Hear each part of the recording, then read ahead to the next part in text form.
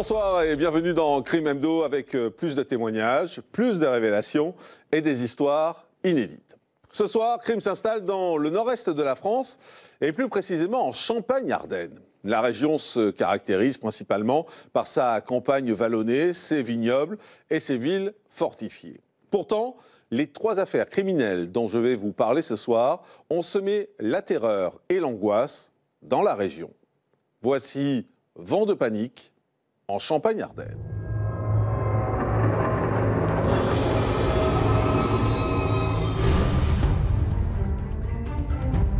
À Troyes, Brigitte est à la tête d'une entreprise familiale dans laquelle travaillent ses deux fils, Daniel et Olivier.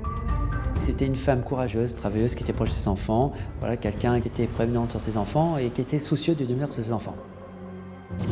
Pourtant, L'entente entre les deux frères n'est plus au beau fixe depuis quelque temps. Daniel aurait même des attitudes pour le moins inquiétantes qui vont mener au drame. un moment, il voit les stores de sa mère qui se ferment. Il tente d'appeler, le téléphone ne sonne pas, donc il se déplace et euh, donc là, il sa mère, euh, le crâne défoncé, euh, gisant dans le d'entrée du pavillon. À Trigny, dans la Marne, Hélène, 28 ans, est une passionnée d'équitation. Elle en a d'ailleurs fait son métier, puisqu'elle travaille dans un centre équestre. Un petit bout de femme qui fait autant de choses, euh, j'en ai rarement vu. Elle est gentille, vraiment profondément gentille. Ça peut paraître cliché, mais c'était vrai. Mais le 22 mars 2017, alors qu'un de ses collègues commence sa journée de travail, il entend un appel à l'aide. Il découvre alors Hélène poignardée de plusieurs coups de couteau. Quand je suis arrivée, ben, il y avait euh, déjà les gendarmes, les pompiers, il y avait déjà un grand drap blanc qui cachait euh, ma fille. Et puis après, ben, voilà, au bout d'une demi-heure, ou je sais pas, enfin, le temps là était un peu suspendu, il y avait une atmosphère quand même particulière. Et ben, voilà, ils sont venus me dire euh, c'est fini. À Reims, Madeleine, 86 ans, est victime d'une violente agression chez elle. Une agression sexuelle assez, euh, assez difficile. C'est quand même une personne qui était en, en grande difficulté, une personne très âgée. Et puis ensuite, voilà, il y a une tentative de viol. Les enquêteurs prennent alors cette affaire très au sérieux. D'autant plus qu'ils découvrent que Madeleine ne serait pas la seule victime de cet individu. Il s'est trouvé que euh, le même jour, mais cette fois vers 19h, une deuxième agression va, va être commise sur une autre malheureuse victime, âgée quant à elle de 81 ans. Il y a un mode opératoire qui les interpelle et qui les ramène à quelqu'un qu'ils ont dans leur fichier, qui est connu pour des infractions de nature sexuelle commises sur le même type de victime, avec à chaque fois des menaces de mort. Et pour commencer cette émission, nous allons à Troyes, commune de 66 000 habitants. À 70 ans, Brigitte règne en chef au sein de l'entreprise familiale créée il y a plusieurs années avec son défunt mari. Aujourd'hui, ce sont ses deux fils qui travaillent avec elle, Daniel et Olivier. Et si euh, les frères s'entendent plutôt bien professionnellement, ils n'ont jamais réussi à créer un lien fraternel. Mais la vie de cette famille va virer au cauchemar le 28 janvier 2015. Olivier, qui habite en face de chez sa mère, s'inquiète. Brigitte ne répond pas à ses coups de fil. Il décide donc d'aller la voir. Et en entrant dans la maison, il va découvrir l'impensable. Sa mère est étendue au sol avec un crâne fracassé. Seul témoin de la scène, une webcam.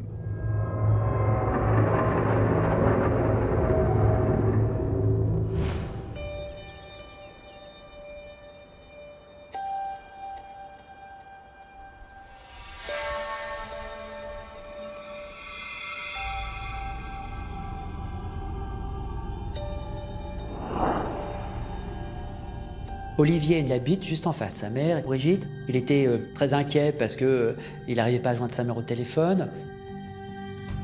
Il y va, il rentre par la porte de derrière. Et il voit le, corps de sa mère dans l'entrée, baignant dans le sang, euh, avec le crâne fracassé.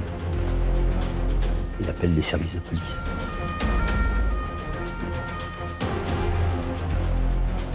C'est une situation qui est incontestablement plus que tragique.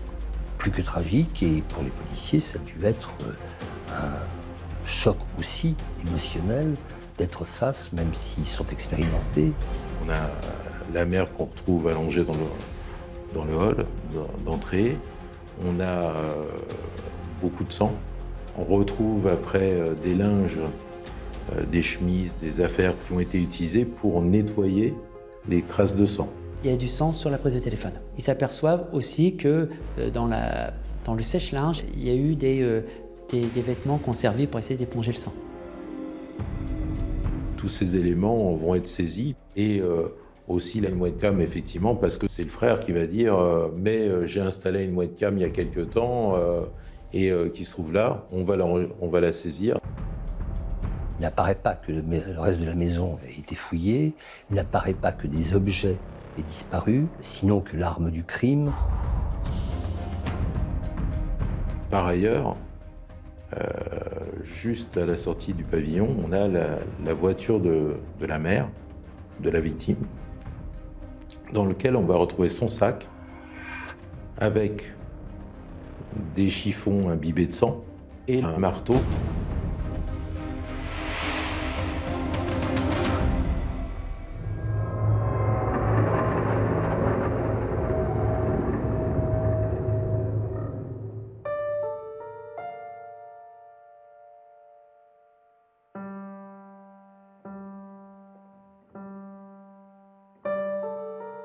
70 ans, Brigitte est encore à la tête de l'entreprise familiale, spécialisée dans la fabrication d'enceintes haut de gamme.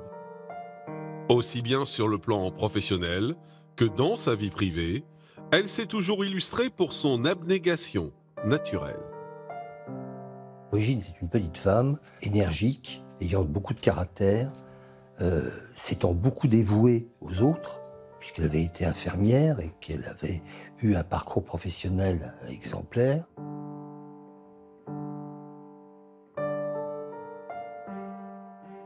C'était une femme profondément attachée à son mari, qui a été marqué par son décès, mais qui en même temps a eu l'énergie de ne pas laisser couler l'entreprise, de la reprendre, d'en prendre la direction et de faire en sorte que celle-ci, avec la présence de ses fils, puisse continuer à prospérer.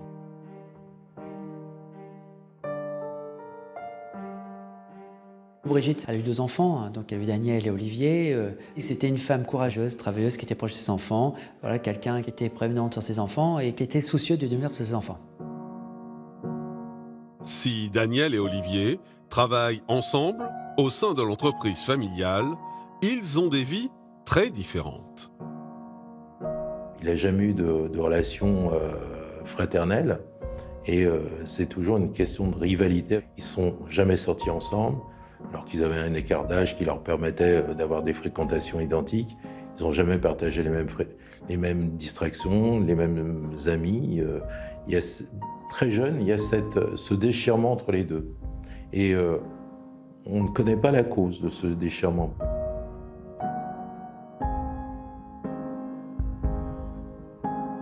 Elle reçoit ses deux fils, mais séparément. Sinon, il y a des tensions. Elle a des rapports euh, avec les deux et euh, elle essaye de canaliser. Malgré ses efforts, Brigitte est très soucieuse du comportement de Daniel, son fils aîné, qui occupe un poste de commercial dans l'entreprise. Il commence à accumuler des dettes. Il vole également du matériel au sein de l'entreprise.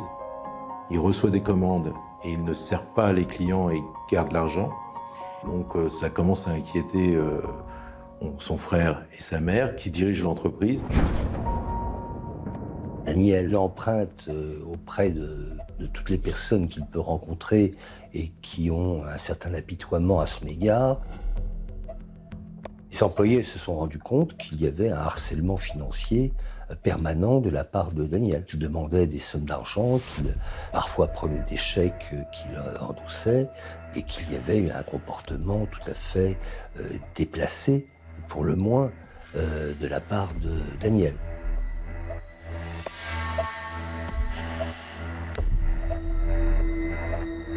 Très inquiet par ces signalements, Olivier et sa mère se rendent au commissariat.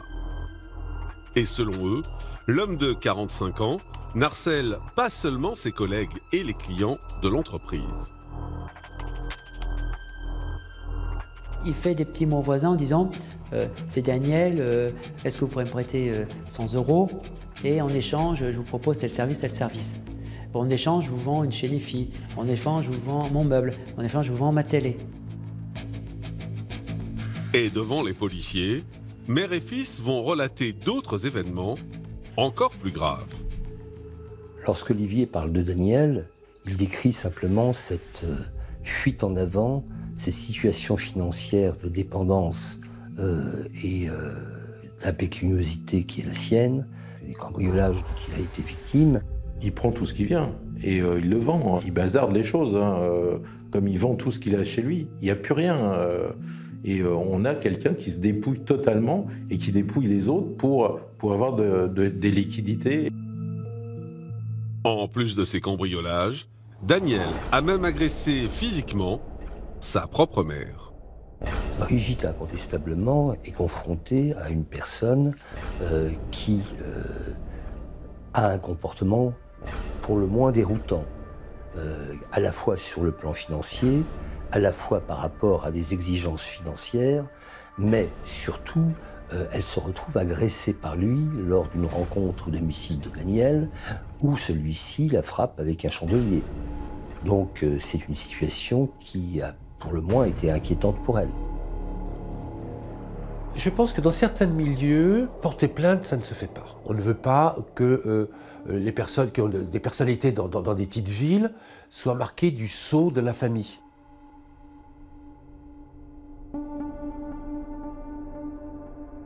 Et on n'a pas envie que les tiers le savent. Donc, on rechigne à, à porter plainte. Les semaines et les mois passent. Daniel continue ses agissements. Et cela jusqu'au 28 janvier 2016. Ce jour-là, Brigitte invite Daniel chez elle pour avoir une énième discussion avec lui. Et elle prévient son fils, Olivier, de sa démarche. On est vers 18h45, je crois. Euh, il voit que son frère arrive et il n'est pas très rassuré, euh, Olivier, parce qu'avec l'heure tardive, il a essayé de joindre sa mère et elle ne répondait pas. À un moment, il voit les stores de sa mère qui se ferment. Il tente d'appeler, le téléphone ne sonne pas, donc il se déplace et euh, donc là, il découvre sa mère, le crâne défoncé, gisant dans le d'entrée du pavillon.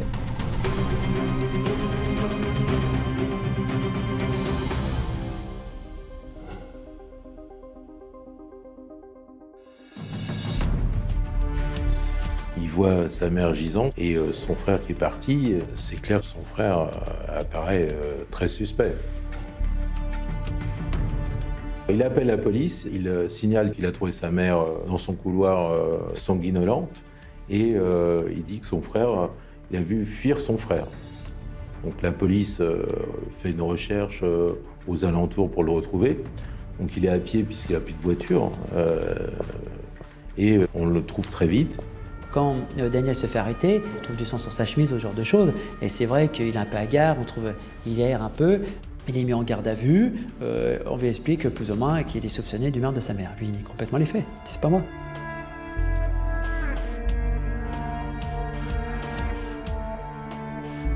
Avant d'entendre leur suspect sous le régime de la garde à vue, les policiers réalisent sur lui une enquête de personnalité. Après une enfance et une adolescence des plus classiques, Daniel se marie et devient commercial dans l'entreprise familiale. C'est une période assez heureuse, hein, je veux dire, pour, pour Daniel. Il partait le lundi, il revenait vendredi, et voilà, il était VRP, il, il roulait beaucoup, il allait sur les routes. Mais avec les années, Daniel s'engouffre peu à peu dans une spirale infernale. En fait, on a une accumulation euh, de causes qui, euh, qui l'amène, euh, je pense, dans cette situation. On a d'abord ses problèmes de couple et son infertilité. Après, on a son divorce avec des dettes importantes qui ont été constituées parce que lui-même et son épouse étaient dépensiers. Et par ailleurs, le dernier phénomène, c'est la mort du père. Et là, il, va sombrer. Daniel a alors 41 ans en 2012. Traumatisé par le décès de son père, il va se renfermer sur lui-même et prendre encore plus de distance avec sa mère et son frère. Il se retrouve seul et il a l'impression que sa famille, c'est-à-dire son frère et sa mère, se liguent contre lui parce que son frère et sa mère s'aperçoivent qu'en fin de compte les choses ne vont pas du tout, commencent, lui font peut-être des reproches. Lui pense que c'est en fin de compte des, des réprimandes injustifiées, que c'est en fin de compte pour le, euh, pour le spolier de, l'héritage de son père, peut-être, de euh, profiter des gains de l'entreprise, etc., etc. Donc il va trouver que son frère, qu'il n'aime pas, on va dire, et sa mère sont des ennemis qui sont en train de le détruire.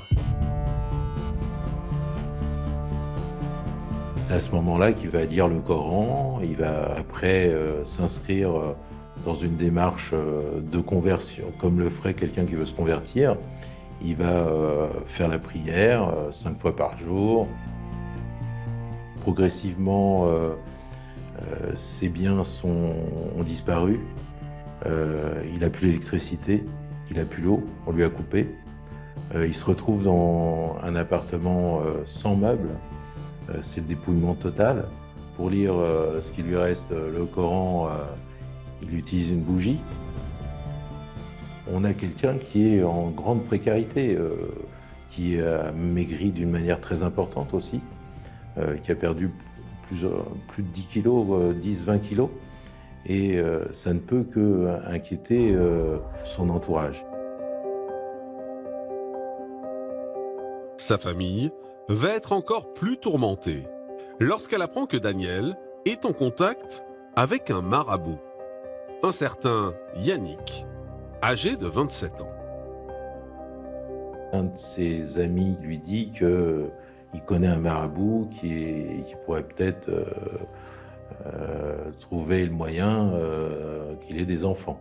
Ce marabout va l'accueillir, ils vont partager des repas, ils vont nouer des liens d'amitié. Cette démarche va s'accompagner vers aussi une un intérêt marqué pour la religion du marabout, qui est l'islam, et euh, il va s'y intéresser.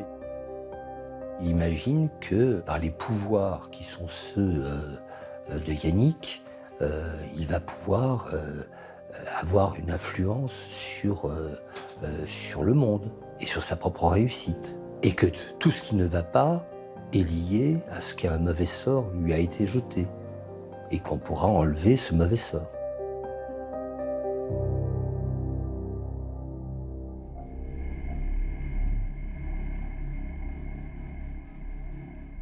La famille soupçonne Daniel d'être sous l'emprise de marabout et qu'ils abusent de lui, de sa confiance, de sa gentillesse et qu'ils sont aperçus qu'il y a de plus en plus de besoin d'argent à la fois pour réunir des prestations euh, de marabout.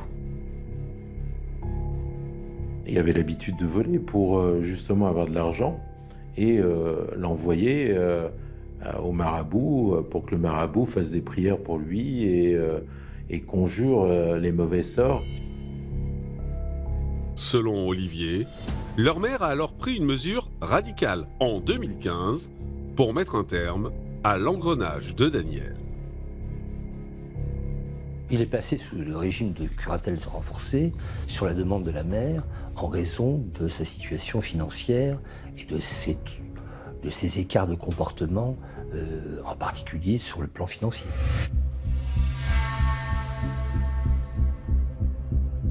Fort de ces informations, les enquêteurs troyens débutent l'interrogatoire de leur suspect.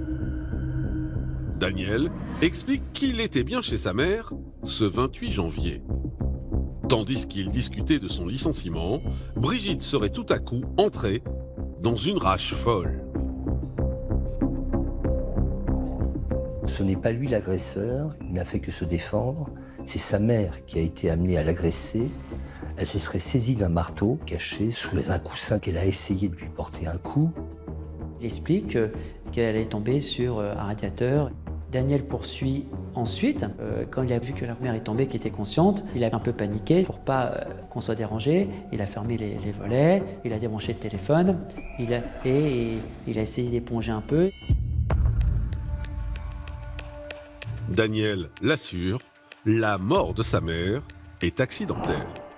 Et s'il a nettoyé les lieux et disparu sans appeler les secours, c'est simplement parce qu'il a pris peur. Mais cette version va être mise à mal par les conclusions du médecin légiste. La victime présente des traces euh, aux avant-bras euh, qui s'analysent toujours comme des traces de défense. Manifestement, elle a essayé de se défendre des coups qu'elle a reçus euh, à la tête. C'est une scène très violente. L'autopsie décèlera au moins neuf coups d'un objet contendant du type marteau. Quand on s'acharne sur quelqu'un, on ne s'acharne plus sur une personne, on s'acharne sur un objet. C'est l'objet détesté. Et la mère euh, disparaît totalement de cette symbolique-là, à tel point qu'il va dire c'est pas moi qui l'ai tué.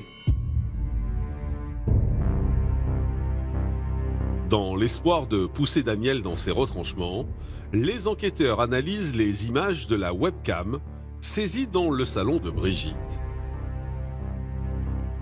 Cette caméra se met en marche dès qu'il y a du mouvement dans son champ d'action. On ne la voit pas en train d'agresser son fils, on ne voit pas le fils en train d'agresser sa mère, mais euh, bon, on, entend, on entend euh, Daniel euh, être amené à, à fournir un certain nombre d'indications au téléphone euh, concernant la scène. Avec qui Daniel pouvait-il alors communiquer à ce moment-là?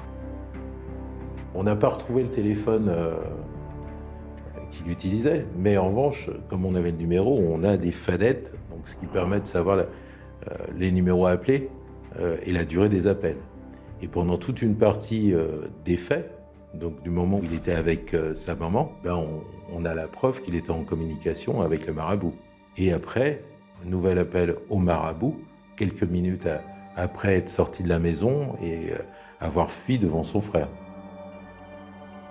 En plus de leurs appels téléphoniques, les deux hommes ont également échangé ce jour-là pas moins de 57 SMS. Le contenu de certains de ces messages est d'ailleurs très inquiétant.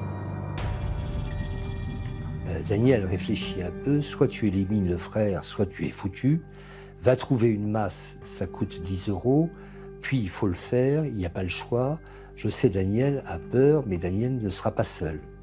Et puis le même jour, peu de temps avant le crime, on va changer la mère, mettre une autre femme avec 100% de confiance en Daniel. On a un SMS où euh, Yannick dit à Daniel euh, qu'il donne un process, un mode opératoire. Euh, voilà, il lui dit clairement, il dit tu prends un marteau, tu tapes sur le front, euh, ta mère va être évanouie. En s'intéressant au jeune marabout de 27 ans, les policiers troyens découvrent que l'homme n'a absolument pas le profil d'un criminel. Son père euh, est euh, marabout, il fait des allers-retours régulièrement au Sénégal et sa mère est au foyer euh, et n'a pas d'activité professionnelle. On a euh, quelqu'un qui est dans une famille où il y a plusieurs enfants, euh, ils sont six. Un garçon qui euh, manque pas d'intelligence, qui a fait des études assez avancées, il a voulu devenir avocat. C'est un jeune euh, de bonne famille, euh, sans histoire. euh, Il a été aux États-Unis parce qu'il voulait faire du drift, il voulait être agent de joueur. Au moment où on le recherche, il est aux États-Unis. C'est un pays avec lequel euh, on- a une convention d'extradition, mais ça s'inscrit dans le temps. Et euh, on a bénéficié du fait que l'intéressé euh, était en situation irrégulière, et donc que les Américains voulaient faire ce qu'on pourrait dire une reconduite à la frontière. Donc il a été reconduit à la frontière, ce qui a permis de, de la- de l'arrêter quand il est arrivé en France à la sortie de l'avion.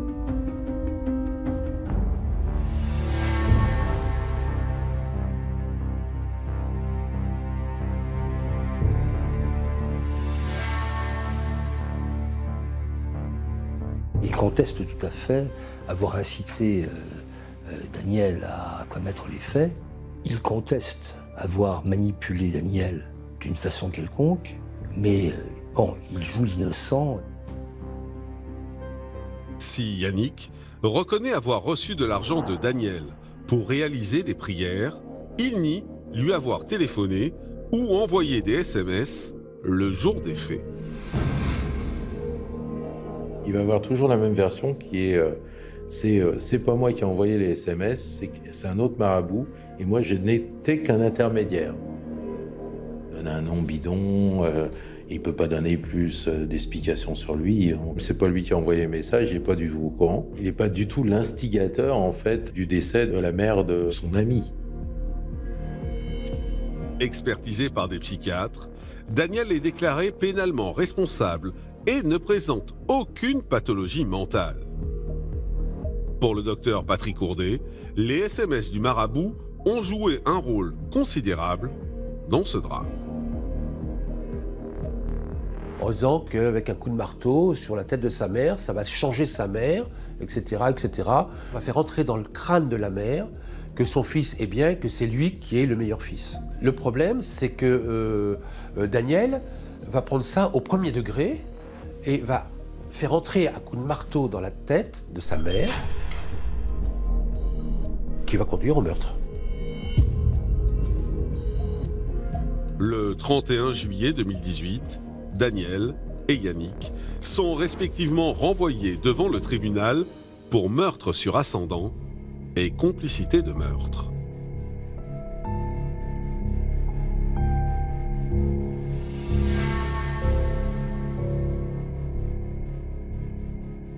Sur le banc des parties civiles, à quelques mètres de Yannick et de Daniel, se tient Olivier, un homme complètement dévasté.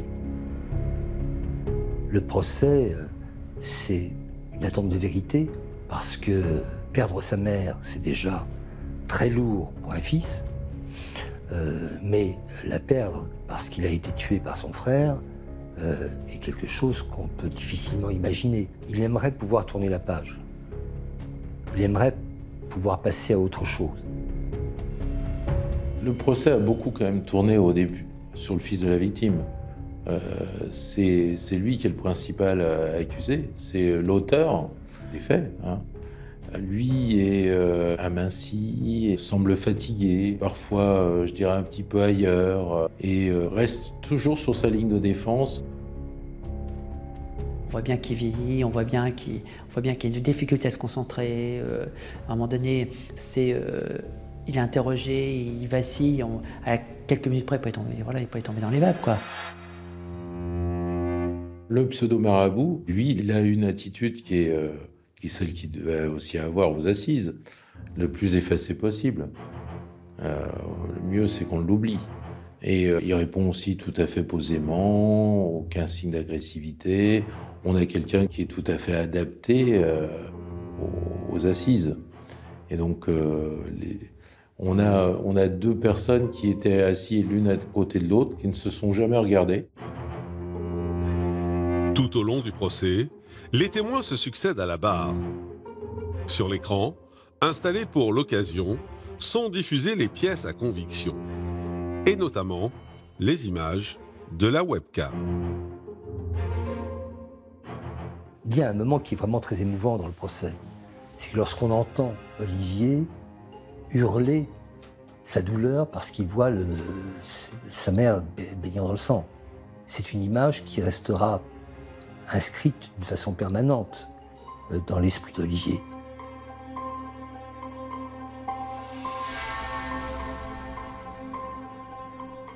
Daniel est condamné à 20 ans pour le meurtre de Brigitte, de sa mère Brigitte. Et euh, Yannick, euh, pour complicité, il est condamné à la peine de 18 ans. Les deux hommes font immédiatement appel de cette décision. Et 18 mois plus tard, un nouveau procès s'ouvre à Charleville-Mézières. Comme lors de la première audience, les débats s'articulent principalement sur l'influence qu'a pu avoir le marabout sur Daniel. J'ai toujours pensé qu'il était sous emprise, qu'il croit réellement qu'il allait changer sa mère en lui portant un coup. Que peut-être il a porté des coups au-delà de ce qu'il voulait parce qu'il il, s'est pris un peu au jeu puis s'est débattu. Mais sinon, je pense que il croit vraiment au pouvoir euh, des forces occultes, euh, de la magie. Euh. Les experts qui ont vu Daniel, d'ailleurs, étaient assez partagés. Il y en a qui disaient qu'il était quasiment normal, l'autre, il était complètement psychotique. Moi, je pense qu'il est entre les deux, c'est-à-dire qu'il a une possibilité d'organisation malgré sa psychose.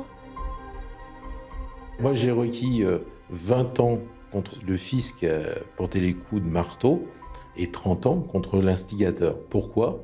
Parce que j'estime que le fils était euh, totalement sous l'emprise du pseudo-marabout et que c'était quasiment une marionnette.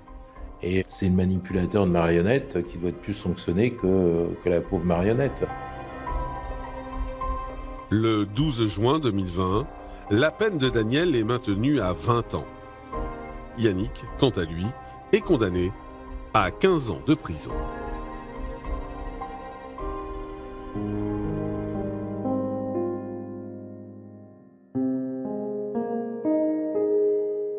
Olivier est un homme courageux. C'est un homme d'une grande stabilité affective. Mais dire qu'il va bien, ce serait mentir. L'émotion est encore trop forte. Euh, et elle restera forte. Un matricide est quelque chose qui n'est pas fréquent. Il y a une fêlure. Mais bon, vous savez, un vase peut être euh, ébréché, euh, peut être fendu, mais on peut y mettre encore des fleurs.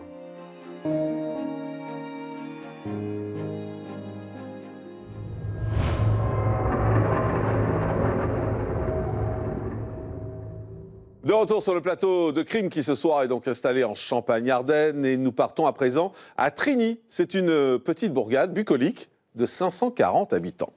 Hélène, 28 ans, n'a qu'une passion dans la vie, les chevaux, au point qu'elle décide d'en faire son métier. Son moniteur en poche, elle est embauchée dans un centre équestre et c'est ici qu'elle rencontre en 2013 Yannick, un cavalier. Il a 17 ans de plus qu'elle et il est pompier volontaire. Le couple semble heureux et amoureux. Pourtant, après deux ans d'idylle, Hélène souhaite reprendre sa vie de célibataire. Mais elle est loin de se douter qu'en prenant cette décision, elle signe son arrêt de mort. Ce soir, pour crime, Annick, la maman d'Hélène, a accepté de nous raconter ce drame qui l'a marqué à vie.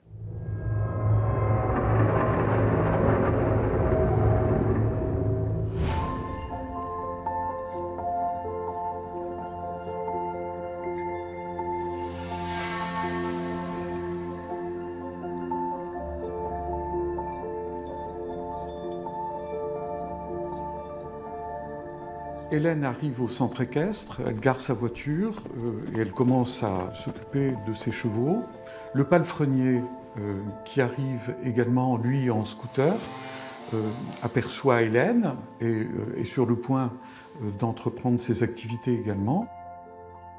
J'ai garé tranquillement mon scooter, me déshabillé, casque, gants.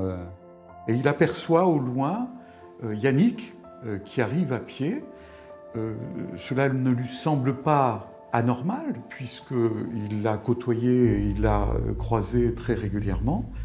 Et elle doit tourner, euh, Hélène m'a appelé au secours. Je me suis retourné, j'ai tout balancé. J'ai couru. Yannick est en train de porter des coups à euh, Hélène. Donc il se précipite sur lui, euh, il, les, il, les, sépare, il les bousculé, il tombe à terre, et Yannick, à ce moment-là, s'enfuit. Je me suis occupé d'Hélène jusqu'au bout. Je l'avais euh, dans les bras, j'ai appelé les pompiers, euh, la gendarmerie, la maman. Je décroche et Lionel me dit Hélène s'est fait agresser par Yannick. Il était en état de panique et je lui dis bah, Lionel, j'arrive tout de suite. Je n'ai pas du tout pensé au pire. Enfin, mon conscient n'a pas voulu penser au pire.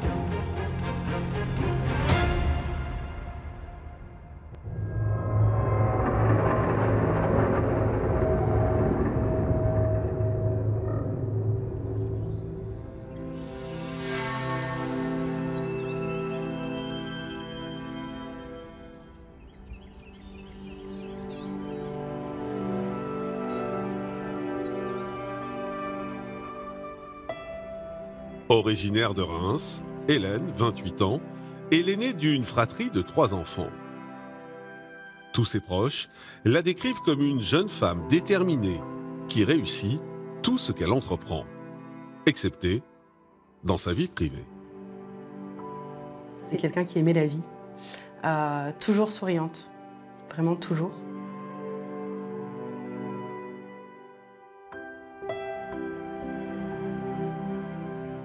Une force de la nature, parce que parce qu'un petit bout de femme qui fait autant de choses, euh, j'en ai rarement vu. Elle est gentille, vraiment profondément gentille. Ça peut paraître cliché, mais c'était vrai. Mais elle n'a pas eu de chance euh, dans ses relations amoureuses.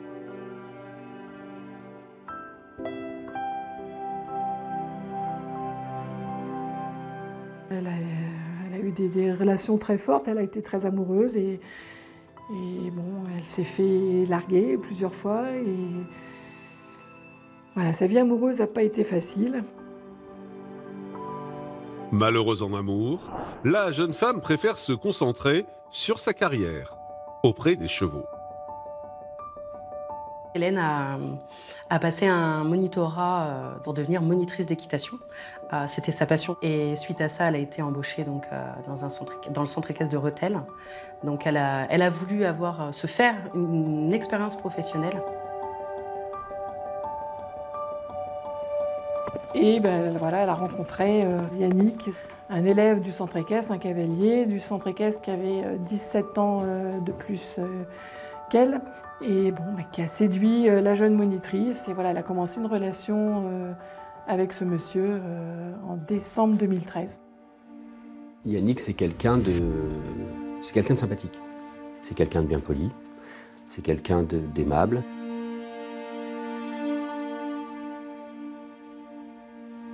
C'est quelqu'un qui, qui n'essaie pas de vous mentir ou de vous retourner la situation ou de se présenter à son avantage.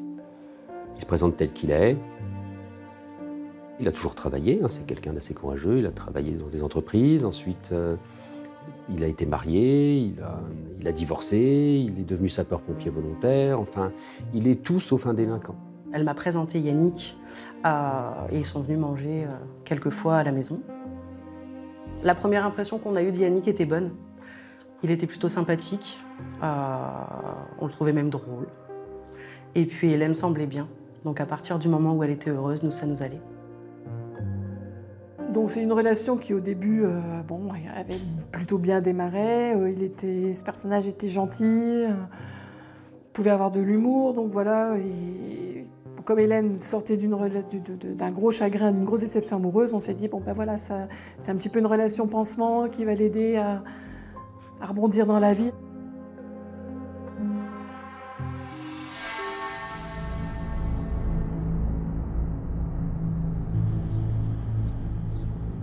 Hélène et Yannick ont une relation amoureuse euh, qui va durer très peu de temps puisque euh, Hélène, au bout de quelque temps, se rendra compte qu'elle ne souhaite pas poursuivre cette relation.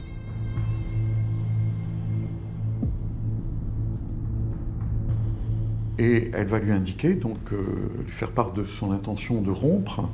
Et à ce moment-là, Yannick va faire euh, ce qu'on va qualifier, ce qui s'est avéré exact, une pseudo-tentative de suicide. Ça a été assez violent.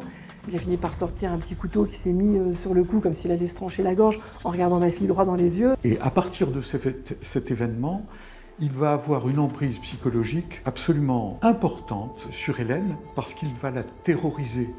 Non pas qu'Hélène, dans un premier temps, ait eu peur de lui, mais elle avait peur que lui-même porte atteinte à sa vie, se suicide. Et on va avoir une relation qui est très singulière puisqu'il va la tenir ainsi. Hélène me disait, j'ose pas le quitter parce que si je le quitte et qu'il se suicide, je vais m'en vouloir, je vais me sentir responsable. Ça s'est fait petit à petit, de façon assez insidieuse. Mais voilà, il y a eu une emprise psychologique qui s'est mise en place et Hélène était un peu coincée dans cette relation. Et en fait, ça a été trois ans émaillés de, de ruptures, de remises ensemble, de re-ruptures. Enfin, c'était pas vraiment ce qu'on peut appeler une belle relation, c'était pas une relation saine. Hélène nous racontait beaucoup de choses à mon conjoint et moi. Euh, on faisait beaucoup de soirées, on sortait.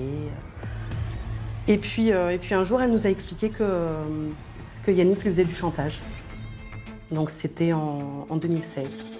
Il lui faisait du chantage par rapport à, plein de choses, mais notamment le fait que si elle ne se remettait pas avec lui en couple, euh, il ferait en sorte de détruire son projet. Parce qu'elle avait un super projet, c'était d'ouvrir un centre équestre avec sa maman.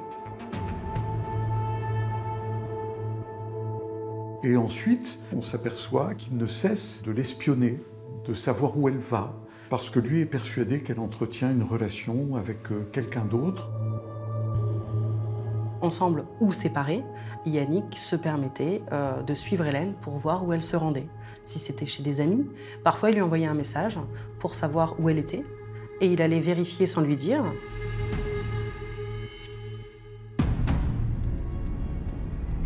Donc elle a décidé, malgré le fait qu'on lui ait dit que c'était pas du tout une bonne idée, euh, de rester avec Yannick. Elle nous a précisé que, que le jour où il la quitterait, elle serait enfin tranquille. Donc elle a commencé à prendre ses distances avec lui, en espérant qu'un jour il la quitte.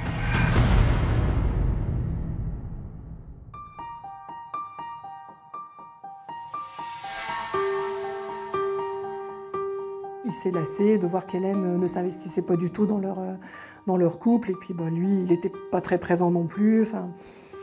Donc ils ont décidé, euh, il a, il a, pris les devants, il dit bon on arrête et évidemment elle était d'accord, donc la relation s'est arrêtée. Mais le bonheur sera de courte durée.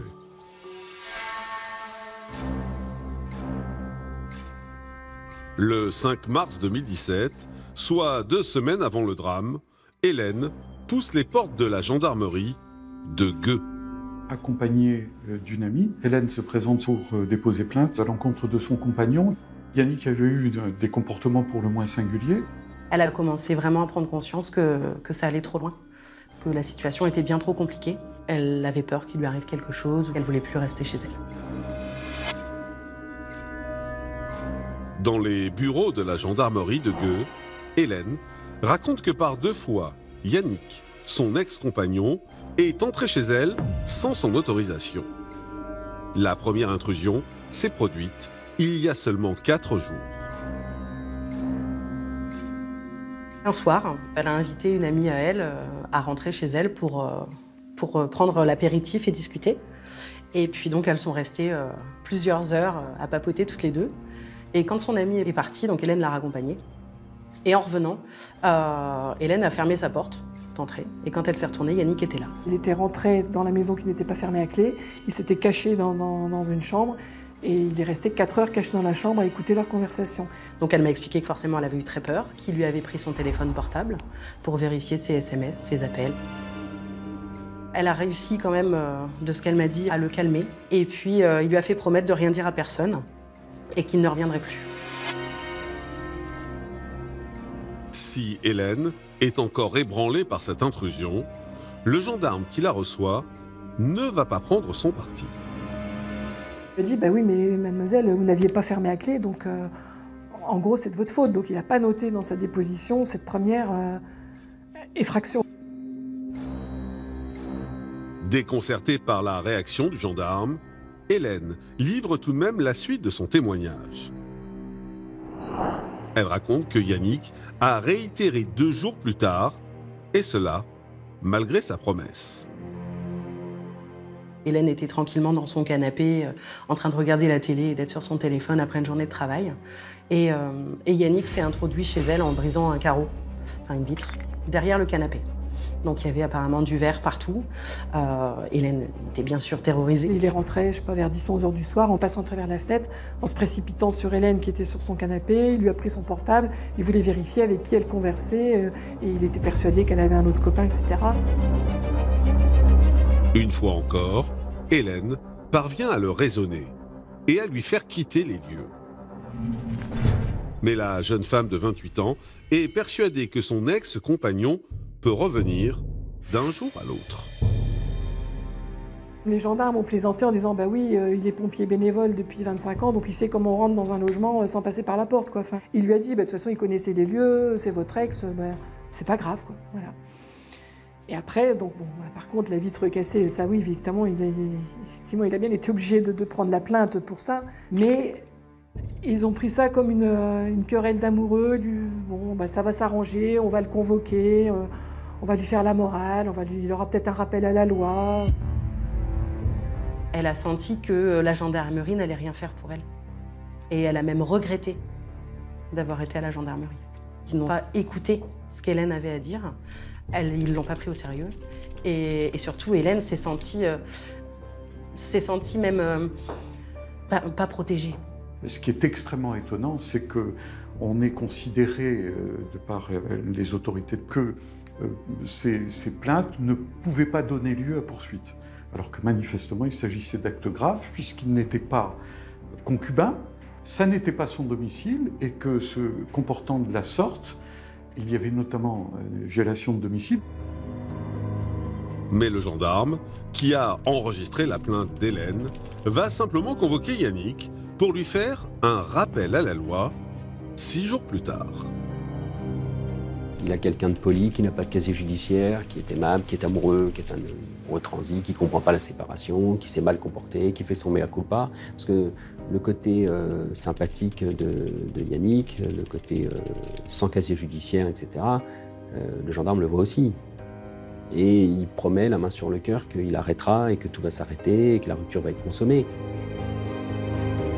Suite à la plainte d'Hélène, Yannick ne fait l'objet d'aucune poursuite judiciaire. Il est seulement tenu de rembourser le carreau cassé.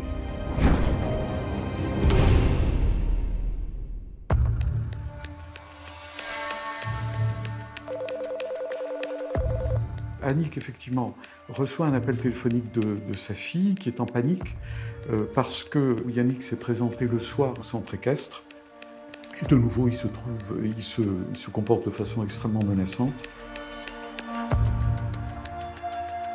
L'appel terminé, Annick décide de rejoindre au plus vite sa fille, qui s'est réfugiée chez elle.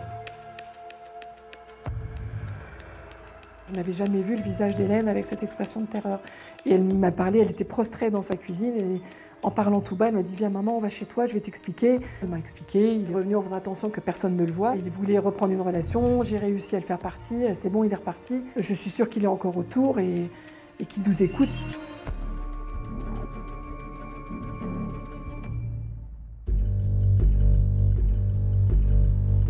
Il est 22h, ce 21 mars, lorsqu'Annick décide d'alerter de toute urgence la gendarmerie de Gueux. J'ai rappelé qu'on avait déjà porté plainte 15 jours avant. C'était pas la première, euh, euh, agression qu'elle subissait de cet homme-là, et là que ça devenait vraiment inquiétant et qu'il fallait vraiment qu'il fasse quelque chose. Et il m'a répondu bah écoutez, là ce soir est chez vous, il ne craint rien. Euh, Demain matin, euh, retournez à la gendarmerie à Gueux, là où vous aviez déjà pour déposer plainte, et rajoutez un dépôt de plainte, euh, mais demain matin.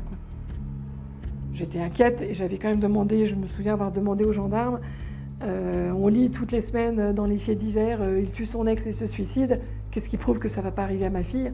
Et là, le gendarme m'a répondu, écoutez, il n'a jamais été violent physiquement, un homme ne devient pas violent comme ça du jour au lendemain.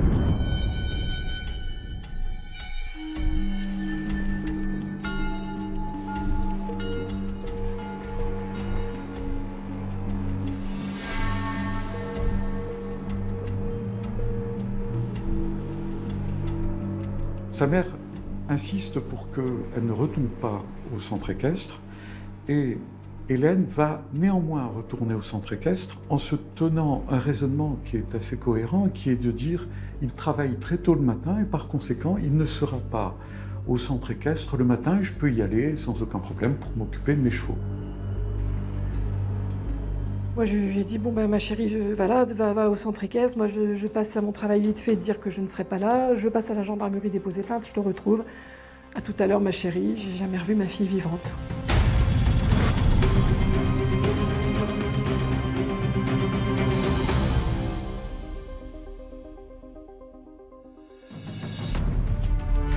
Quelques instants après avoir été contactés, les gendarmes et les secours arrivent au centre équestre. Ils aperçoivent donc euh, le palefrenier qui est euh, au chevet euh, d'Hélène et également le couteau. Mais immédiatement, les gendarmes ne, savent pas dans quelles circonstances ont été portés les coups de couteau. Quand je suis arrivée, ben, il y avait déjà les gendarmes, les pompiers, il y avait déjà un grand drap blanc qui cachait ma fille, donc j'ai voulu m'approcher, on m'en a empêché. Et euh, on m'a dit, on va venir vous... Ils sont en train de donner des soins à votre fille, on va venir vous expliquer, etc. Et puis après, ben voilà, au bout d'une demi-heure, ou je sais pas, enfin, le temps là était un peu suspendu, il y avait une atmosphère quand même particulière. Et ben voilà, ils sont venus me dire, c'est fini. Complètement dévastée, Annick doit malgré tout répondre aux questions des gendarmes. Et parmi eux se trouve celui qu'elle a eu au téléphone la veille. C'est ce gendarme qui avait pris nos plaintes. Et celui, c'est lui qui m'avait dit, bah non, madame, un homme violent ne devient pas violent. Un homme qui n'a jamais été violent ne le devient pas du jour au lendemain. Et je lui dis, je lui dis, vous vous souvenez ce que vous m'avez dit? Bah, S'il vous plaît, ne dites plus jamais ça à personne. Quoi. Bon, il, a baissé les, il a baissé les yeux, il était, très mal, évidemment, mais c'était trop tard.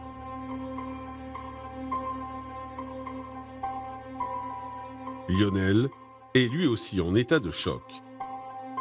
Devant les gendarmes, il revient sur les circonstances du meurtre et notamment sur une phrase qui lui a glacé le sang. Le palefrenier qui arrive au moment où Yannick euh, est en train de porter des coups à Hélène l'entend dire Je t'avais dit que je t'aurais. Voilà. Euh, ce qui est une phrase extrêmement importante, puisque ça démontre cette volonté de tuer. Les médecins légistes ont mis en évidence la, violence des coups qui étaient portés, puisque un des coups de couteau qui était porté traverse le sternum. Donc euh, ça caractérise une violence extrême, et puis l'autre coup de couteau est porté à hauteur du cœur.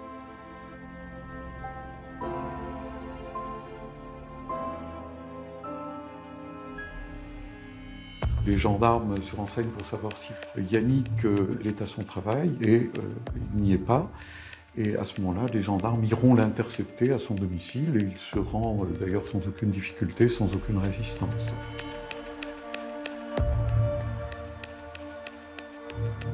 Auditionné par les gendarmes, le sapeur-pompier raconte que ce matin, il est parti de chez lui vers 5 heures dans l'espoir de trouver Hélène seule au centre équestre.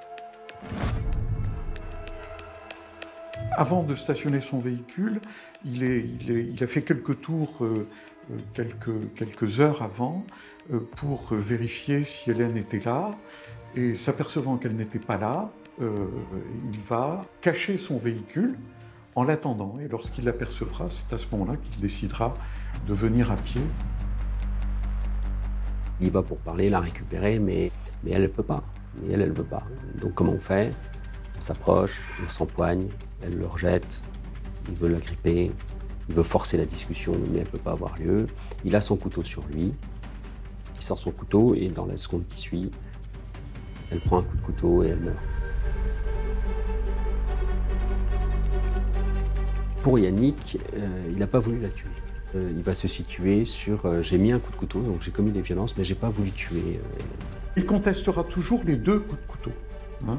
Il dira toujours qu'il n'a porté qu'un coup de couteau, alors que euh, les, les, médecins légistes démontreront sans aucune difficulté qu'il y a eu effectivement deux coups de couteau.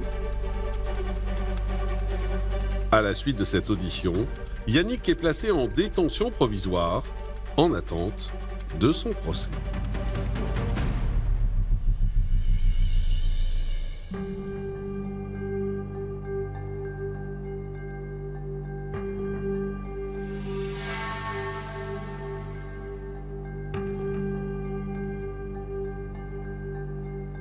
Le procès, je l'attendais avec une énorme impatience et en même temps une crainte énorme aussi. L'enjeu du procès, c'était de démontrer qu'il y avait assassinat, c'est-à-dire préméditation, avec toute, toute une série d'actes préparatifs pour donner la mort à Hélène. En fait, au procès, il, a montré, il s'est montré tel qu'il était et, et, tant mieux, quoi. Voilà, il n'a pas joué la comédie de l'homme et pas du tout. Il n'a jamais dit qu'il aimait Hélène, il a juste dit qu'elle lui appartenait C'était son trophée, les psychiatres ont bien expliqué, hein, c'était son trophée. Il a montré son vrai visage. En fait, il s'est montré tel qu'il était, un personnage euh, distant, sans aucun regret, sans aucune émotion, un bloc de glace, quoi.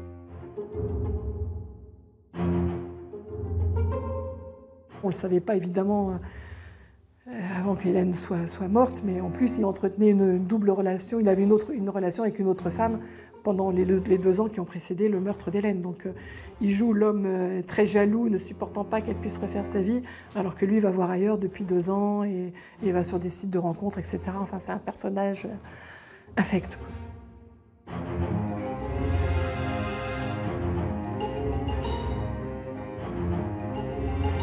Il y a quand même quelque chose qu'on peut noter, c'est qu'à un moment donné, le gendarme, qui a suivi l'affaire, euh, cette, petite histoire de jalousie, parce qu'au départ, c'est une petite histoire de jalousie, euh, est, venu au procès pour témoigner. Ce gendarme était euh, assez hermétique, et au fil des questions, on a réussi à lui faire dire qu'il a été en fait, entre guillemets, manipulé par Yannick se présentait euh, comme euh, quelqu'un de parfaitement stable, parfaitement à l'écoute des autres, par son statut de pompier volontaire. Si le gendarme de Gueux reconnaît son erreur d'appréciation, Yannick, lui, continue d'affirmer qu'il n'a pas prémédité le meurtre de son ex-compagne. Le lundi 18 novembre, après trois jours de débat, la Cour d'assises tranche enfin sur cette question. Le verdict, j'ai mal réagi parce que l'avocat général avait demandé 30 ans, dont 18 de sûreté. Et moi, j'y croyais à fond, avec la qualification d'assassinat, donc il avait retenu la préméditation. Et on était tous sûrs que, ça allait être la peine, de toute façon, que les jurés allaient voter ça. Finalement, ils ont retenu assassinat, heureusement, ils ont retenu la préméditation, mais ils ont voté 25 ans sans peine de sûreté.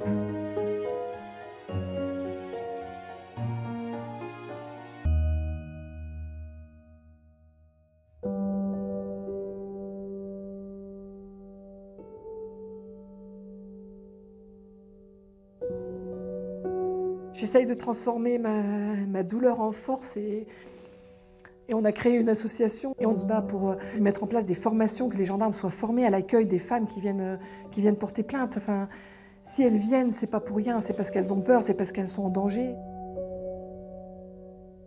Mais c'est difficile, c'est difficile.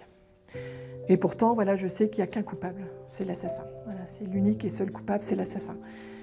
Mais bon, quand même, on aurait si on avait pu changer l'histoire.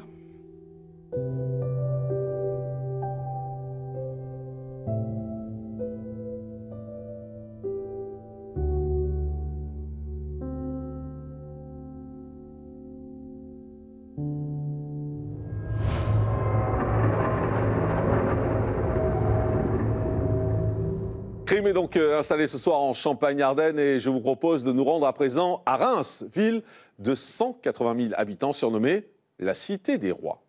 Madeleine, 86 ans, y mène une vie tranquille. Depuis la mort de son époux, elle sort très peu. Sa fille vient la voir quotidiennement. Elle a aussi une auxiliaire de vie. Et ce 29 novembre est une journée assez ordinaire pour la vieille dame.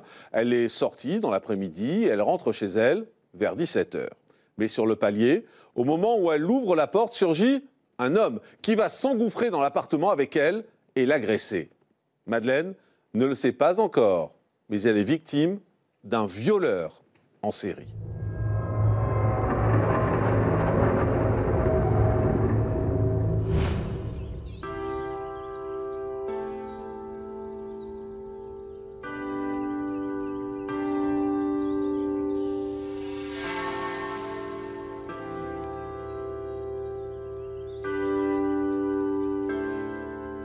Situe à quelques mètres de la cathédrale, euh, dans une petite rue très très calme, connue pour être très calme du centre-ville.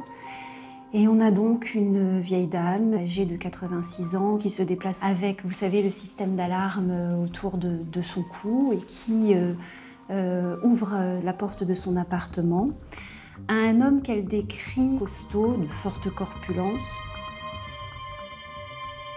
La porte entrouverte qui va s'engouffrer, parce qu'il n'y a pas eu d'effraction en réalité. Il va s'engouffrer, il va se jeter sur Madeleine et euh, il va lui asséner euh, des coups et puis, euh, et puis commencer en fait à l'agresser.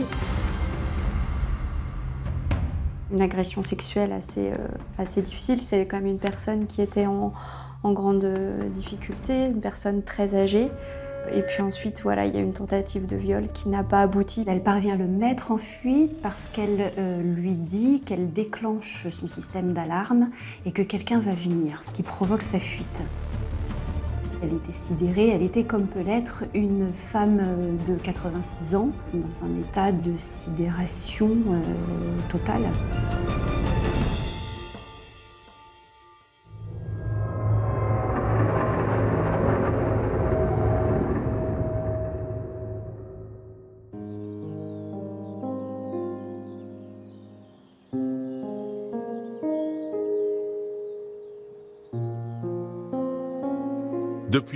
Décès de son mari, Madeleine, 86 ans, passe la majeure partie de ses journées seule chez elle.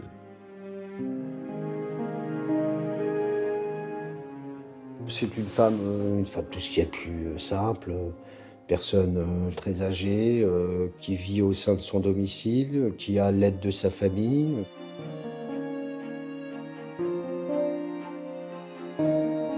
Elle finit paisiblement de vivre ses dernières années. Et manifestement, elle était dans un mode de vie très très sécurisé. Elle avait même un bip autour du cou, etc. S'il lui arrivait quelque chose, sa fille était là pratiquement quotidiennement.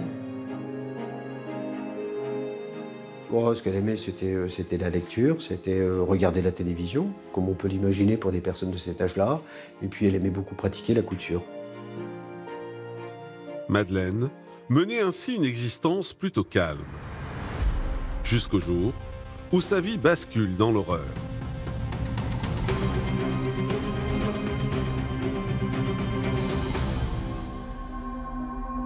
En état de choc après son agression, Madeleine alerte le commissariat de Reims. Les services de police vont intervenir, vont bien sûr procéder à son audition, mais c'est toujours très délicat de demander à des personnes de cet âge-là, en étant bien sûr victimes d'une agression aussi sauvage, de pouvoir donner une description parfaite. Elle va donner une description, bien sûr, qui va quand même donner une orientation pour les enquêteurs.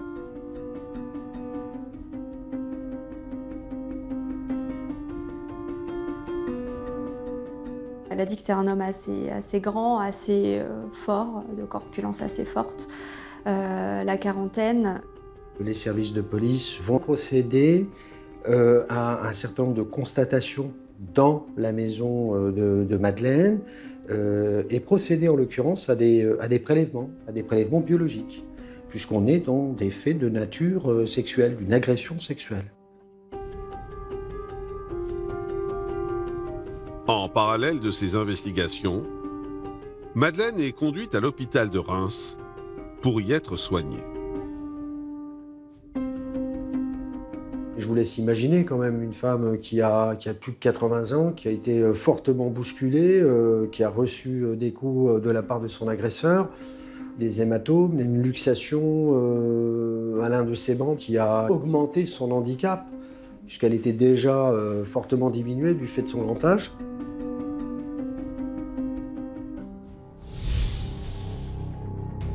L'agression de Madeleine est intervenue donc le 29 novembre 2008 vers 17h euh, à son domicile.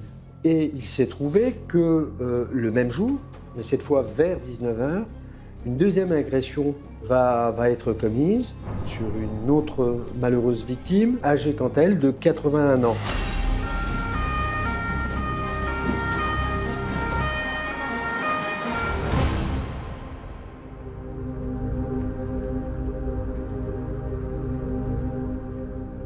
Aussitôt prévenus, les enquêteurs se rendent au CHU de Reims pour recueillir le témoignage de leur victime. Une femme appelée Yvonne, qui est née et a grandi dans la Cité des Sacres. Elle avait travaillé dans, une structure médico-sociale. Euh, c'est une femme qui vit assez simplement, mais dans la coquetterie.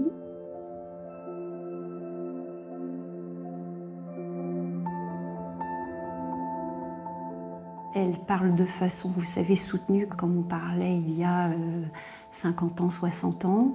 C'est quelqu'un euh, qui est très cultivé, qui avait un abonnement au théâtre et à l'opéra. C'était aussi quelqu'un qui était psychiquement un petit peu fragile, hein, qui avait un mode de, de, vie euh, quand même, elle était très très très isolée. Il vivait un petit peu en autarcie avec sa sœur avec laquelle elle partage sa vie euh, depuis euh, l'enfance. Et en réalité, ni l'une ni l'autre ne s'est autorisée à vivre une vie euh, maritale, une vie conjugale. Donc elles sont restées toutes les deux en fusion à vivre dans cet appartement pendant des décennies. Depuis son lit d'hôpital, Yvonne revient avec difficulté et pudeur sur son calvaire. Vers 19h, alors qu'elle rentre des courses, elle a l'étrange impression d'être observée.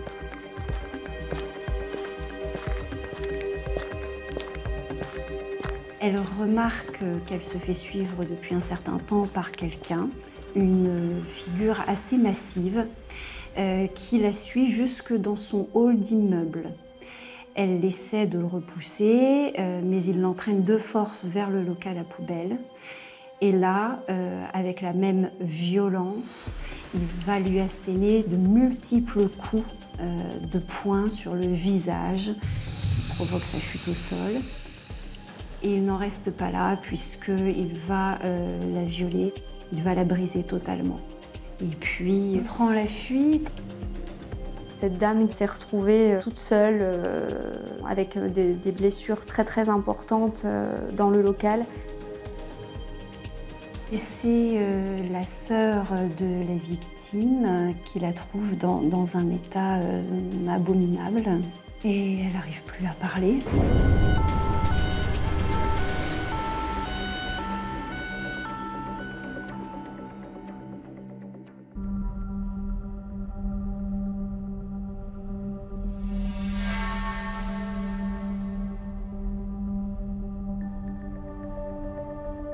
Été extrêmement brutalisée. Sur le plan médical, on a repéré quand même qu'elle avait une, fracture des côtes, du bassin. Euh, elle avait le visage qui était horriblement tuméfié.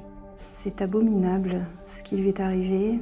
Il euh, n'y a même pas de mots pour dire ça. Alors on l'a qualifié de torture et d'acte de barbarie. J'ai le souvenir de cette équipe du centre hospitalier de Reims qui la reçoit pour l'examen médico-judiciaire et qui déclare dans la procédure qu'ils n'ont jamais vu ça, que c'est quelque chose de totalement inédit. Tout comme Madeleine, Yvonne va mettre en avant la corpulence imposante de son agresseur. Mais au-delà de sa description, ce sont les propos qu'il lui a tenus qui l'ont marqué. Elle se souvenait des paroles qu'il avait tenues pendant les faits, euh, puisqu'il lui avait dit à plusieurs reprises euh, Ta gueule ou je te tue. Ta gueule ou je te tue.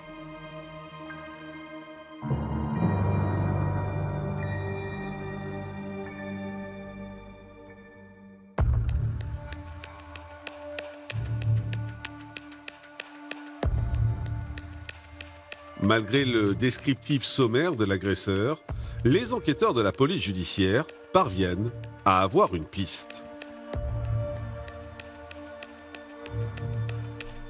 Il y a un mode opératoire euh, qui euh, les interpelle et qui les ramène à quelqu'un qu'ils ont dans leur fichier, euh, qui est connu du ressort pour des infractions de nature sexuelle commises sur le même type de victime, avec à chaque fois des menaces de mort. Donc ils savent où chercher. Ils ont en tous les cas quelqu'un en tête. Ce suspect se nomme Nordine, un maçon âgé de 38 ans, originaire de Charleville-Mézières. Il fait partie d'une fratrie de huit personnes. Euh, il a vécu dans un climat quand même assez difficile avec euh, un papa alcoolique. Euh, ses parents sont séparés, il était assez jeune. Pour lui, ça a été quand même très très compliqué. il s'est retrouvé une partie du temps à la rue quand il était plus jeune. On ne lui connaît pas beaucoup d'amis non plus. Pas beaucoup d'amis, c'est quelqu'un qui vit plutôt seul. Et on, peut aussi le comprendre par rapport euh, aux difficultés qui sont les siennes. Et puis il a, il a fait donc plusieurs euh, allers-retours en prison, ça fait partie de, son parcours. Le 11 mars 2002, euh, il est effectivement condamné à une peine de 4 ans d'emprisonnement ferme pour avoir en fait agressé trois personnes qui sont d'un âge très avancé. Mais une fois sorti de prison, Nordine se retrouve à nouveau dans le collimateur de la justice.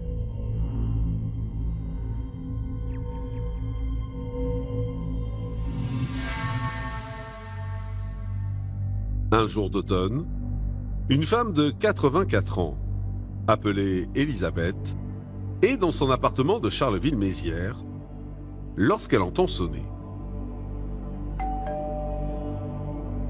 Elle a pensé que c'était le, remplaçant du facteur euh, qu'elle a aperçu de, l'intérieur.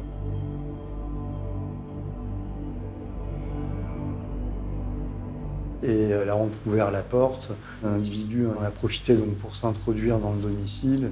Et ça a été extrêmement rapide, extrêmement violent, puisqu'il lui a mis des gifles, des coups de poing, et euh, il l'a entraîné euh, immédiatement dans la chambre qui était dans le couloir à proximité. Euh, où euh, il l'a déshabillé euh, pour commettre les faits, donc sur le lit médicalisé du, mari qui était handicapé. Et malgré son très lourd handicap, il a réussi à prendre son déambulateur pour essayer d'aller voir ce qui se passait dans la chambre. Et il a trouvé sa femme nue sur le lit médicalisé avec la personne à côté qui lui a dit non, je, je suis médecin, ne vous inquiétez pas, je suis en train de il a bien compris qu'il euh, se passait quelque chose d'anormal et sa femme euh, criait Appelle la police, appelle la police. L'agresseur prend la fuite et quelques minutes plus tard, la police arrive sur place. Elle était euh, profondément choquée, mais elle a quand même très rapidement réussi à expliquer à la police ce qu'elle avait subi. Il y a eu déjà des violences euh, pour euh, la contraindre euh, à faire ce qu'il souhaitait. Et il y a eu des agressions sexuelles avec des attouchements sur les parties intimes, une tentative de pénétration et également une fellation forcée. Fort de son témoignage, les enquêteurs soupçonnent Nordine, un trentenaire qui vient de sortir de prison. Qu'il avait eu des, antécédents d'agression sexuelle sur des personnes âgées euh, pour lesquelles il avait été condamné à Charleville-Mézières quelques années auparavant. Et euh, il y avait également euh, une autre agression commise dans le même laps de temps sur une personne qui, de mémoire, habitait dans son immeuble. Cette autre victime, qu'on appellera Georgette, livre aussi un témoignage glaçant. Georgette, va euh, assez rapidement d'ailleurs déposer plainte. Mais avec beaucoup de difficultés parce que c'est pour elle quelque chose d'extrêmement violent. Et puis il y a aussi une gêne, une grande pudeur qui s'empare d'elle. Et, euh, puis, aussi euh, une forme de culpabilité. C'est comment a-t-on pu à ce point être naïf pour ouvrir la porte à cet homme-là? Le suspect est alors interpellé, puis mis en examen pour ces deux viols. Au mois de mars 2008, son procès s'ouvre devant la cour d'assises de Reims. C'est quand même un dossier qui est exceptionnel euh, au moins à deux égards. C'est que déjà, il s'en prend à des personnes âgées, ce qui n'est pas très courant. Et puis, il y a cet argument de défense de dire je ne peux pas commettre de viol, j'ai un micro-pénis.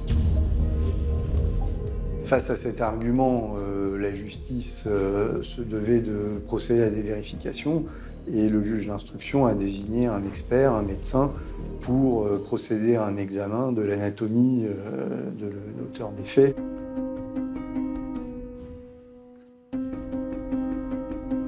L'expert confirme le problème anatomique de Nordine. Et l'homme de 38 ans est finalement acquitté pour les viols d'Elisabeth et de Georgette.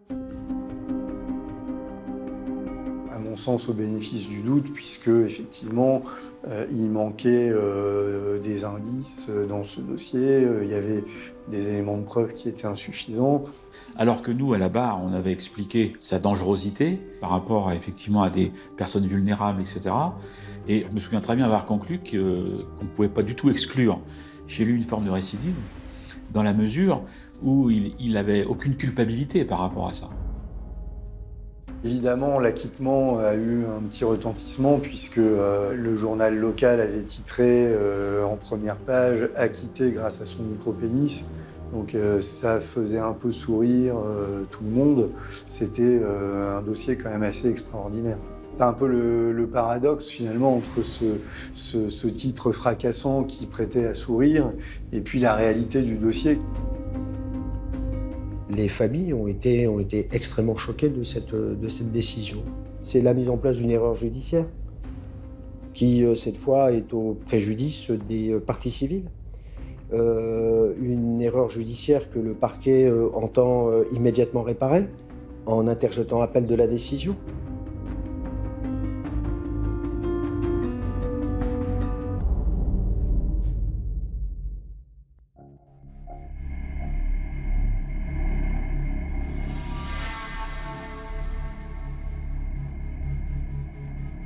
Après avoir été acquitté en première instance pour deux viols, Nordine est le suspect numéro un pour une autre série d'agressions, celle d'Yvonne et de Madeleine.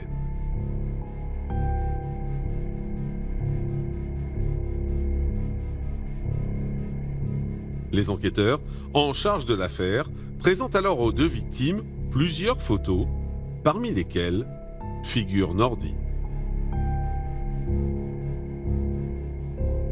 Mais ce sont des femmes qui se sont protégées en évitant de, le regarder, de revoir son, visage pendant les faits.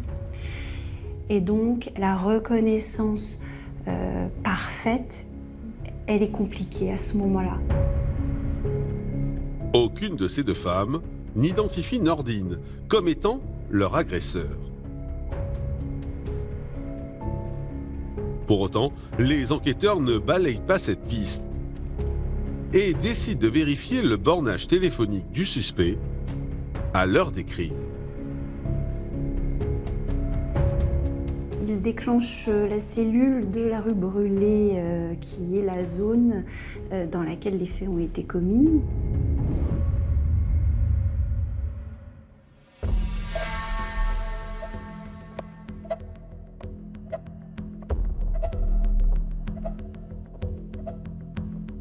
Lorsqu'il est placé en garde à vue, il va adopter un mutisme total.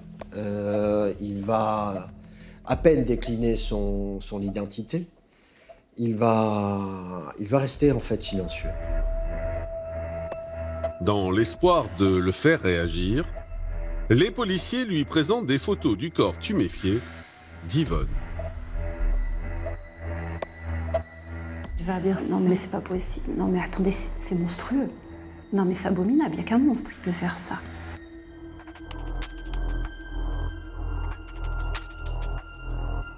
En parallèle de sa garde à vue, les enquêteurs procèdent à une perquisition de son domicile. Au cours de cette fouille, ils récupèrent des vêtements ainsi que des chaussures. Ce qui a considérablement dynamisé et activé l'enquête. C'est qu'on a retrouvé de l'ADN euh, d'Yvonne sur les vêtements euh, de Nordine et inversement de l'ADN de Nordine sur euh, l'écharpe et les vêtements de la victime. Mais il ne va pas à proprement parler reconnaître les, les faits. Il va louvoyer en réalité. S'en souvient pas.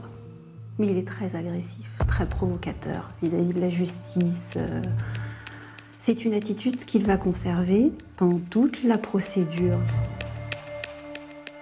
Il a été vu par des, psychologues pour, euh, pour un entretien et au début il voulait pas du tout parler, ça a été très très compliqué de le faire parler et à la fin quand il a commencé à, à se libérer un petit peu, il est toujours revenu sur son vécu à lui, plus que sur les faits. On peut aussi euh, observer, constater une sorte de crescendo, un petit peu dans le mode opératoire. En fait, c'est devenu de plus en plus violent, physiquement. hein. Euh, Il les insultait. Avant de les agresser et de les violer, euh, il les insultait. Et je pense qu'il y avait une intentionnalité, il y avait une préméditation, c'est-à-dire qu'il partait à la chasse. Alors, si je dis ça, c'est parce que manifestement, ça, ça devenait chez lui euh, quelque chose d'indispensable, une espèce d'addiction, si vous voulez. Les experts tentent également de comprendre pourquoi le suspect s'attaque spécifiquement à des femmes très âgées.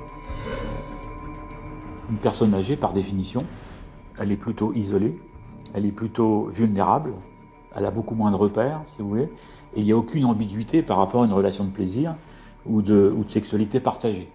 Donc à ce moment-là, si vous voulez, le- l'auteur va mettre en place un besoin de toute puissance ou de domination de l'autre.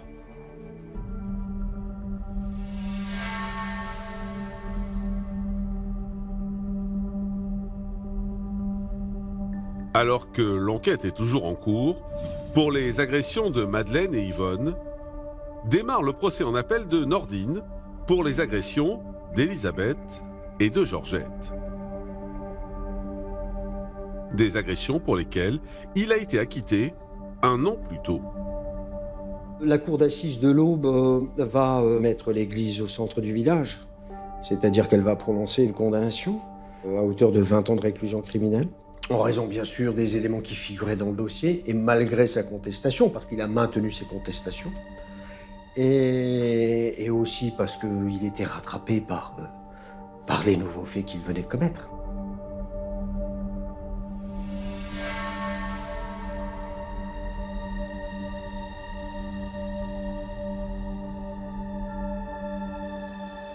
Nordine retourne dans le box des accusés pour les affaires d'Yvonne et Madeleine. Très diminuées, les deux victimes n'ont pas pu se déplacer jusqu'à la cour d'assises de la Marne. On était dans l'attente de- d'explications parce que les victimes, elles en ont fondamentalement besoin. Mais on ne les a pas eues, ces explications. Si ce n'est, j'étais alcoolisée. Là, une attitude fuyante, personne qui répond pas aux questions, euh, qui, euh, qui est dans l'incantation, euh, qui est dans le reproche systématique, qui, euh, même à la limite de, de la victimisation. Quoi. Alors, euh, il a rendu responsable euh, forcément euh, sa mère, les juges, les experts, les avocats aussi qu'il avait pris en grippe au point de refuser de répondre euh, aux questions des avocats. Il a finalement euh, jamais trop parlé des victimes. Ça, ça a toujours quelque chose qui est passé dans un deuxième temps, après lui quelque part pendant l'audience. Un manque de considération qui choque profondément l'avocat général et les parties civiles.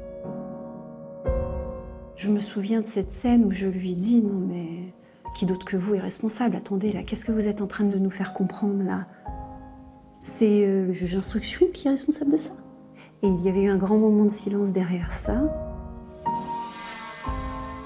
Après cinq jours d'audience, Nordine est condamné à la réclusion criminelle à perpétuité, assortie de 18 ans de sûreté. Yvonne, elle était soulagée, mais c'est aussi dit que si euh, la justice l'avait enfermée quelques années plus tôt pour les crimes qu'il avait commis, elle n'aurait pas été la dernière victime de Nordine.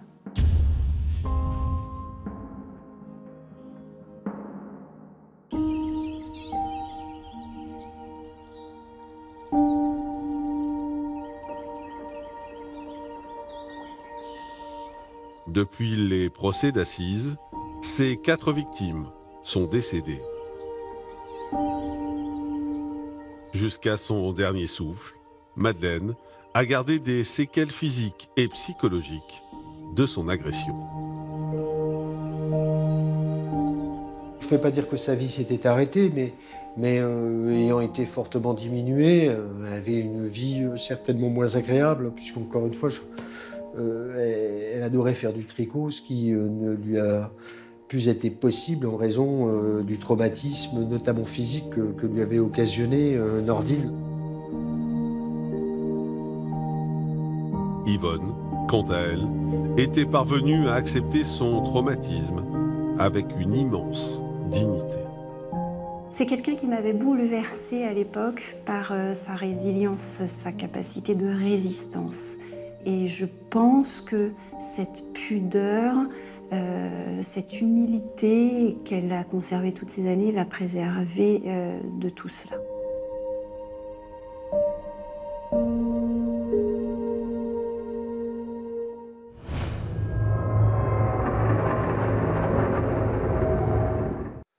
Et après cette affaire, j'en profite pour vous rappeler que l'on se retrouve également tous les jours en direct à 13h35 sur Énergie 12 pour la quotidienne de crimes et faits divers. Et chaque jour, c'est en direct que viennent témoigner des victimes. C'est très souvent bouleversant et toujours passionnant. Tous les jours, 13h35 sur Énergie 12, crimes et faits divers, la quotidienne. Et puisque vous aimez les faits divers et les enquêtes, restez avec nous car Crime Hebdo continue dans un instant. Le temps de faire une courte pause et la soirée se poursuit avec un nouveau numéro de Crime. À tout de suite.